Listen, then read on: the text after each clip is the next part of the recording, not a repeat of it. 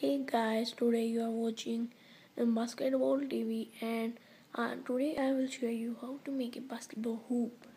I have made it so I can't teach you how to but I can show how I made this. Now see it.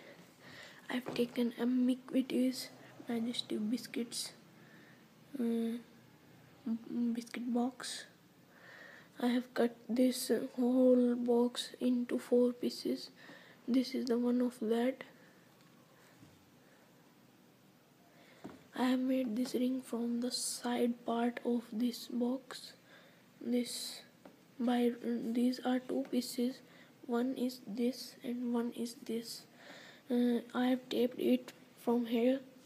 And now I and then I have pasted some hot glue and I fixed this.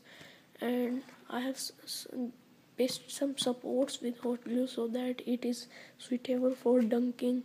So hi bye guys. Please subscribe my channel basketball tv goodbye